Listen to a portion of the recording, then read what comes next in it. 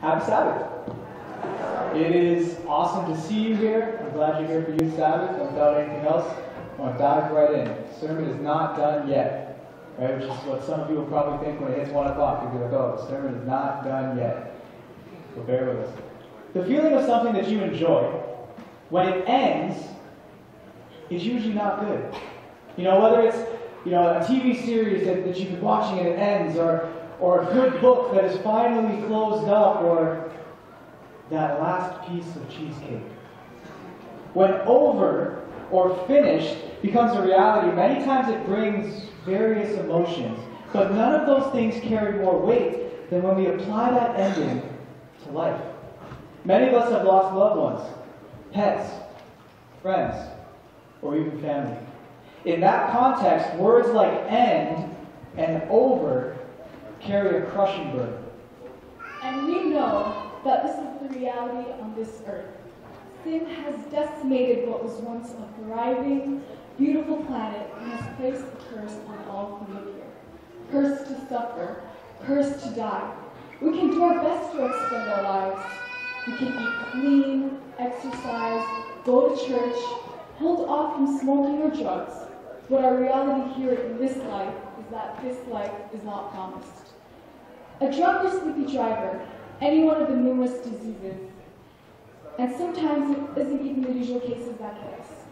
According to the Consumer Product Safety Commission, around 90 people are killed annually by riding lawnmowers. But in a Christian life, physical death doesn't mean the end.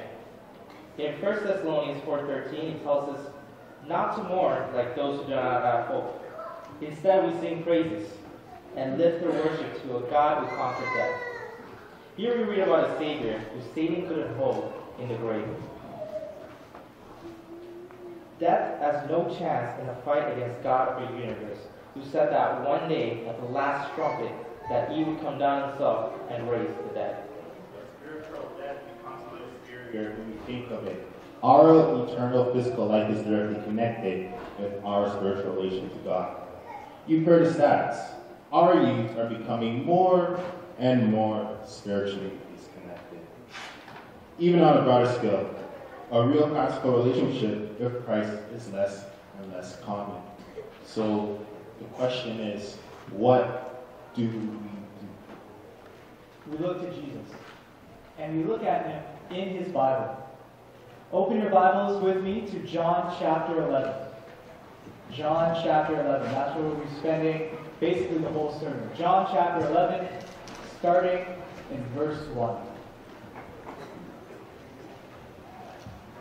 It reads Now a man named Lazarus was sick. He was from Bethany, the village of Mary and her sister Martha. This Mary, whose brother Lazarus now lay sick, was the same one who poured perfume on the Lord and wiped his feet with her hair. So the sisters sent word to Jesus Lord, the one you love is sick. Those are words that we never want to hear. And those are words that spring us into action. I think back just a few weeks ago, um, it, was, it was actually on my birthday, I got a call late in the evening from my brother saying, Kevin, mom is in the hospital. Can you come? She had been dealing with foot issues, and an infection in her foot had caused her to have been weakened and ended up with a 40 degree fever and very frail. Obviously, I drove there immediately. But Jesus waited. Verse 6 says, So when he heard that Lazarus was sick, he stayed where he was two more days. And then he said to his disciples, Let us go back to Judea. Why would he wait? In hindsight, we understand, but it must have been odd for the disciples that he seemed so nonchalant about one of his closest friends. And in many of the situations we go through, it can feel like Jesus has heard about our struggle, but it's almost as if he's ignoring us. It almost seems like he doesn't really care. But that's not true. He does care. And we see in the story that he cared about Lazarus too. And then well, verse 7 reads, And then said to his disciple, Let us go back to Judea. But, Rabbi, they said a short while ago, the Jews there tried to stone you. And yet you are going back? Someone who didn't care wouldn't have put himself in harm's way to be there. And Jesus shows us the first lesson in holding onto our youth. Sometimes ministering to us will not be convenient. For Jesus, it meant travel. It meant danger. It meant stepping out and going to where Mary and Martha were. Jesus didn't tell them to bring Lazarus to him, or even send one of his disciples to him. Jesus made that journey. And as much as we don't like to admit it, we too need to make that journey. I saw a picture of a man standing under a sign that looked like this. For those of you that can't see it, it says, Be who you needed when you were younger. And it brings to mind a famous quote that says, Do unto others as you would have them do unto you.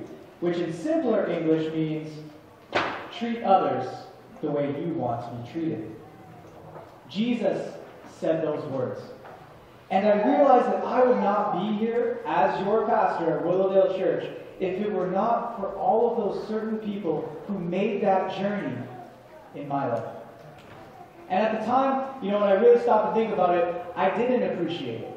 All of the rides, all of the food, all of the listening, all of the advice, all of the effort. Honestly, it was lost on me. But one day it clicked. It clicked how big an impact those people had in how I saw the church and what type of person I wanted to be.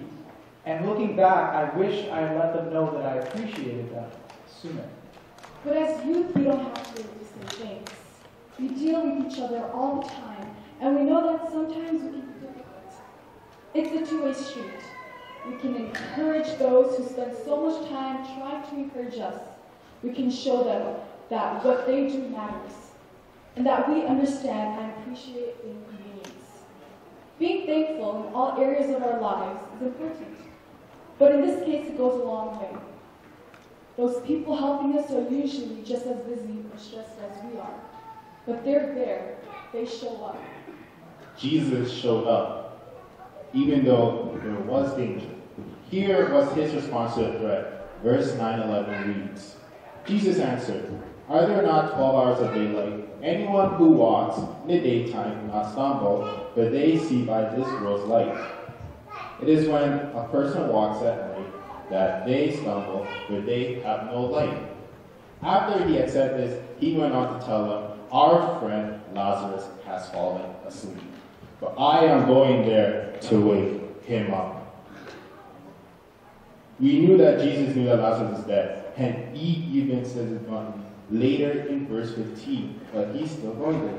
Jesus wasn't afraid because he knew that he walked in the light. Sometimes, you know, we get scared of what people are going to say. We're unsure if we can stand up to God because doing that might get us exposed. We're called to walk in the light. We're called to be the light.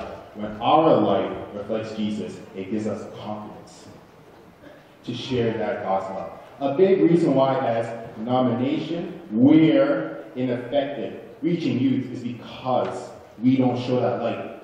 Although have we shown that Jesus living in us has made us kinder, has it in, has it made us more loving? And do we show that joy in the way we interact with each other, even when we don't agree?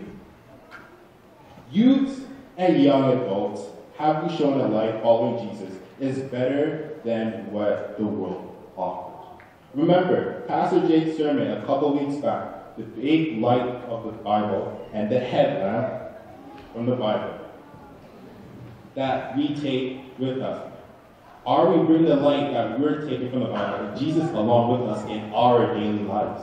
Because many times what someone will believe about God will be based on what they see from who's representing him.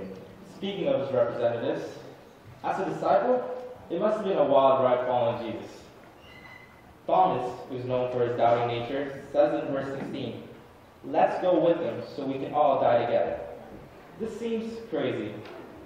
Not because of the risk of the bodily harm, but also it was a wild ride because they probably spent most of their time confused.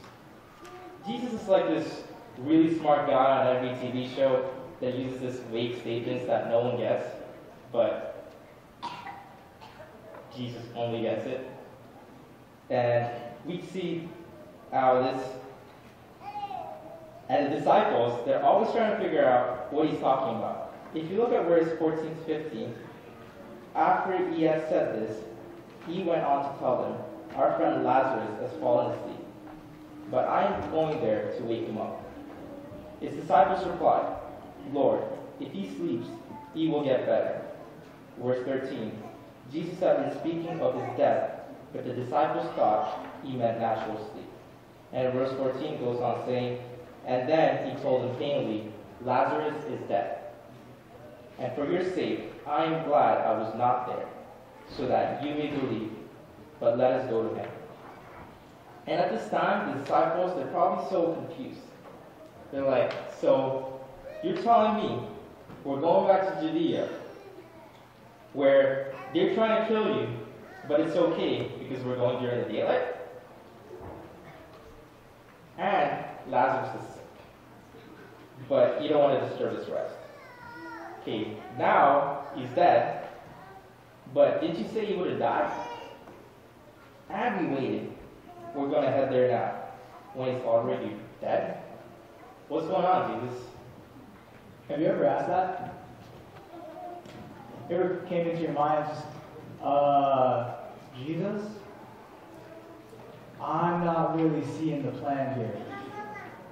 It seemed like we were going this way, and the logical direction would be this way, and now you're taking me over here. I'm a little confused. And you made all these great promises of more abundant life in John 10:10, 10, 10, or you keep me safe in Psalm 23, or that you wouldn't give me more than I can handle, 1 Corinthians 10:13, 13, but I'm struggling. I'm still hurting. I'm broken. I don't get it. The disciples heard Jesus say, This won't end in death, and seven verses later, he tells them that Lazarus is dead. It's confusing. But we have to pay attention to what Jesus actually said in verse 4. He says, This won't end in death. He never said that Lazarus wouldn't die. Max Lucado writes, God never said the journey would be easy, but he did say that the arrival would be worthwhile.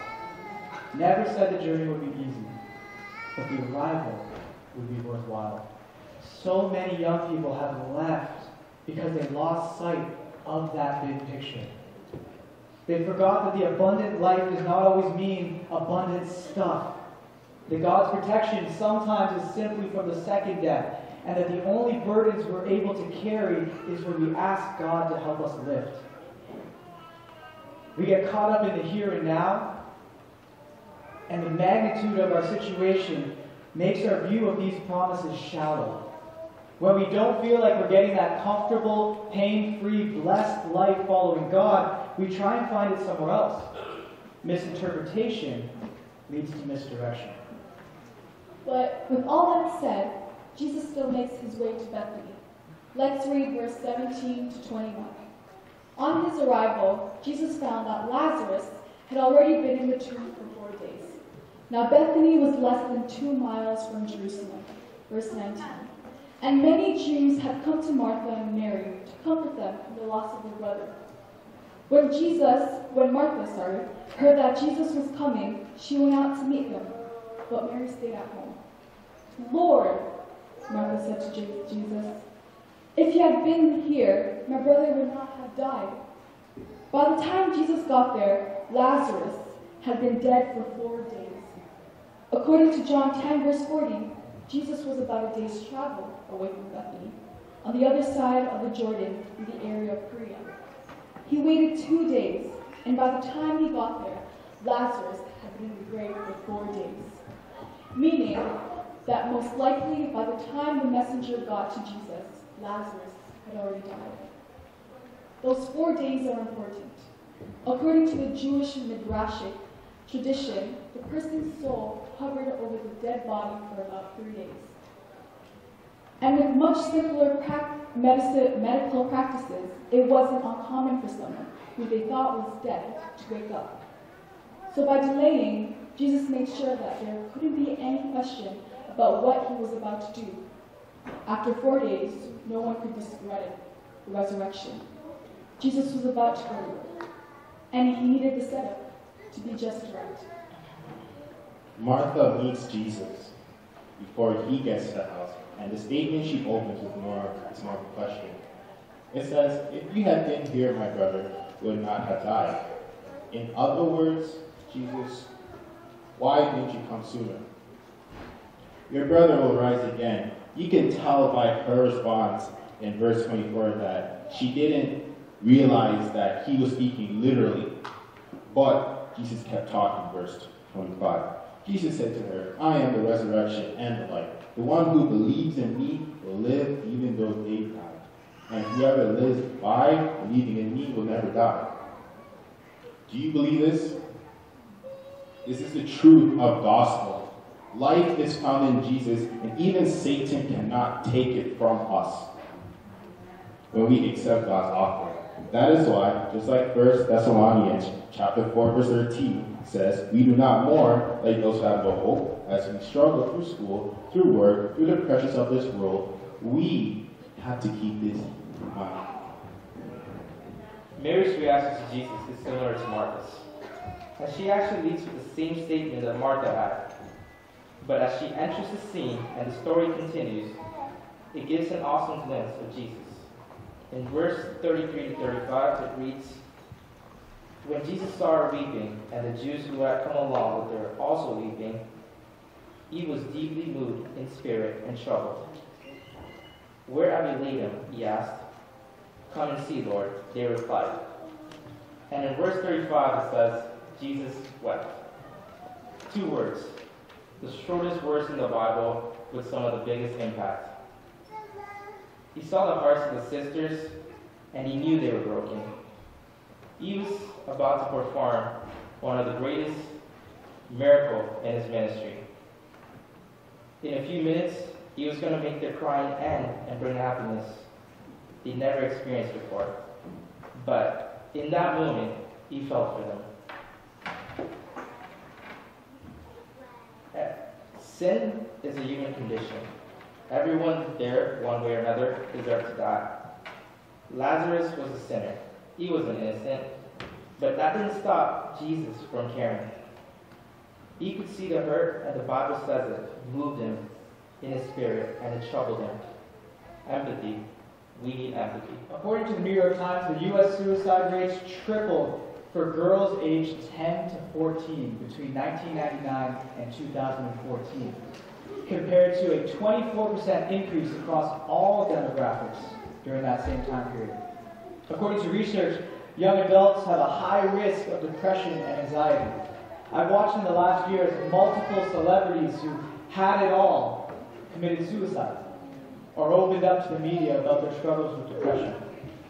Our youth are constantly bombarded out there with these fake lives that seem so glamorous and make them feel inadequate. Young adults look at the state of our economy and feel helpless, weighed down with their student loans starting like tens of thousands of dollars in debt before even entering the workforce. Relationships fail as we're still trying to figure out who we are. And immense pressure from families to live up to cultural standards has left many of our youth pursuing careers that they find no joy in. I'm not saying that we're innocent. We find ourselves in situations that we create for ourselves, and a lot of times we know that. But we need to see that you care. Weep with us. Romans 12, verse 15 tells us to mourn with those who mourn. Jesus knelt down with Mary before he told her to sin no more. He filled a net with fish before he said, Follow me. And he wept before he raised Lazarus. Speaking comes after listening. Advice comes after understanding. I'm not saying that that'll fix everything. At the end of the day, each person makes their own choice, and you can do everything right. You can be the best person in their life, and they can still choose to walk away. But what it does do is it shows that caring and compassion is found in the church. And even if that person doesn't accept it, other people see it. And by you expressing that to them, someone else might feel safe coming to us later. The reality is, our youth are going to go somewhere when they are in need. Let's make sure that that somewhere is right here. At the tone, it is time for Jesus to reveal his plan. Everything he has said would make sense with his upcoming action.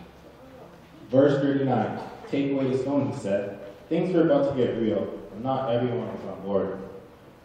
Verse 39 40, but Lord, said Martha, the sister of the dead man, by this time there is a bad odor, for he has been there for four days. Then Jesus says, Did I not tell you that if you believe, you will see the glory of God? You know, sometimes our good intentions can get in the way of divine intervention. I'll repeat that again. Our good intentions can get in the way of divine intervention. Martha wasn't trying to stop Jesus from working a miracle, but was trying to be thoughtful to those around her and sensitive to her own emotions. Our good intentions, even if they make sense at times, can guide us into trouble if we're not first looking for God for our guidance. Jesus had been waiting. It had been days, and now he was standing before the open tomb. Verse 43 to 44. When he had said this, Jesus called in a loud voice, Lazarus, come out. The dead man came out, his hands and feet wrapped with strips of linen and a cloth around his face. The dead man, the lost brother, the life ended, was standing there in front of them. There are situations that seem hopeless, people that seem too far gone, spiritual lives that appear dead. But God can do what no one else can. God can create a world from the void.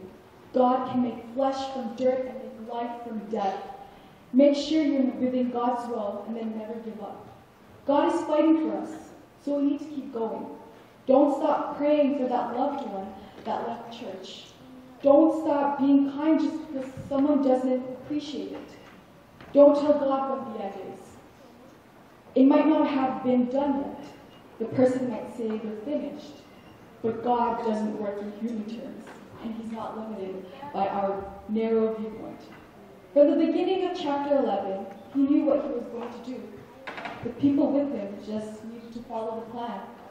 And we need to follow the plan. Jesus doesn't actually need us to accomplish his goal. But the cool thing about Christ is that he wants us to be a part of his plan. Jesus could have told that rock to move and it would have rolled away. But instead, he made the humans there do it. Jesus could have commanded the angels to unwrap Lazarus, but he made the people there do it. God wants us to be involved in the process. He wants us to experience the joy of seeing a life restored, of seeing a relationship with Jesus grown and developed. He wants us to be a part of the victory. We don't do the resurrecting. All the glory still goes to God. But we get to be a part of the celebration. I want to spend a little time on the idea of unwrapping. A few years ago, Pastor Hyveth Williams from Andrews University Seminary was main speaker for the youth section at camp meeting. She brought up the importance of the task of unwrapping. She compared the responsibility we have as Christians to help people as they lead their sinful life and begin their journey with Jesus. She told her conversion story. Accepting Jesus, she was baptized and became a member of her local church. A lady became her attending member, the person in charge of her unwrapping into this new life. When the woman visited her home, she was shocked to see that they had a hamster. She told Pastor Williams that rodents have no place in the home of a Christian and that she needed to kill it. She couldn't bring herself to kill her son's only pet. So, with tears in her eyes, she brought the third guy downstairs and let him go outside the apartment building. Her son was devastated. She reflected on that and realized how important it is that we represent Jesus accurately to those people who come into our church. We are unwrapping them so that they can live a new abundant life with Jesus. not for our own opinion and cultural norms. But this especially applies to how we treat our youth who come back. How they responded to Lazarus at the grave would impact how quickly he got out of his grave clothes. If they had decided, no, you smell bad, and they stayed away, or they were afraid because he literally had been a corpse just a few minutes ago, he would have remained restricted and tied up, stuck in bondage. I remember my mom coming home one Sabbath angry. It was a Sabbath that my cousin, who was a young adult at the time, was visiting after a long period away. And I remember my mom telling me she couldn't focus on the sermon because all she could hear were the ladies talking in front of her. Oh, that's so and so. She doesn't actually go here. Do you see what she's wearing? Etc. Etc. I have an older brother and a younger brother. Neither of them are in the church. Both of them trace it back to being treated poorly by pastors and church leaders when they were about 13 or 14. My older brother would get yelled at. He did. He volunteered for AV, and he get yelled at because the pastor wanted the screen up by the time he started praying. But he was not allowed to have the screen in motion until the last word of the hymn had been sung. So every time after Sabbath, my brother would get yelled at. My younger brother was accused of something he didn't do, and then on multiple levels was never allowed to actually tell his story, never allowed to have representation, and eventually was gossiped about by the local pastors so much that they labeled him a thug and assigned a deacon to watch him during service. He was a 13 year old kid that someone had lied about. And it took years before people started to catch on that the family lying about him had lied about everybody else. But by then it was too late. All this to say, years later when I became a pastor of that church, I, uh, I invited my younger brother to a gym night. And he came. But he didn't want to stay very long. Because he couldn't take the looks. He couldn't take the whispering. He's never been back. It takes strength and courage to come back to your home church after you leave. To know that people have been saying all sorts of things about you while you've been gone, and to know the scrutiny that's going to show up when you walk through those doors. How we respond to those who are dead and are coming back to life is not only experienced by the people that are returning, the youth that are here see it as well. And the reality is, how we respond will have a direct impact on whether they stay. What we see and hear, what they see and hear, will determine whether they want to be here. The father of the prodigal son said in Luke 15, verse 23, Let's have a feast and celebrate. For this son of mine was dead and is alive again. John 11 tells us Lazarus was dead and Jesus brought him back. Luke 15 says that a sheep was lost and its shepherd went out and brought it back. So don't give up on us. Just because their church life seems dead doesn't mean that God can't bring renewed spiritual life. Make the journey. Feel for us. Celebrate those who Jesus gives new life. But it's not a one way street. And I want to challenge our youth and our young adults, and I see many of them in here. I want to challenge you to support your church as they support you. And for those that are here, and for those that want to say, you know what? I'm here. I'm at Willowdale. I want to be a part of this family, and I want to appreciate what the church will do for me. I want you to stand. If you're a youth or young adult you say, you know what, I want to build into this congregation, and I want to say I'm ready to become a part, I want you to stand. Now, for those of you whose youth might be a little past you, might be a little bit in the rearview mirror, if you want to state that you will use your experience, your compassion, and your time to be a blessing to our youth, if you want to tell our youth and young adults that we love you, you matter, and we are here for you, then I want you to stand as well. We can't do this alone. We need each other. You don't have to fit the narrative. We don't have to submit to numbers and statistics. Let's show the world what can happen when we allow God's power to move. He's not done yet, and neither are we. I invite you to remain standing as I call up our praise team, and we will sing the closing hymn, hymn number 287, Softly and Quietly.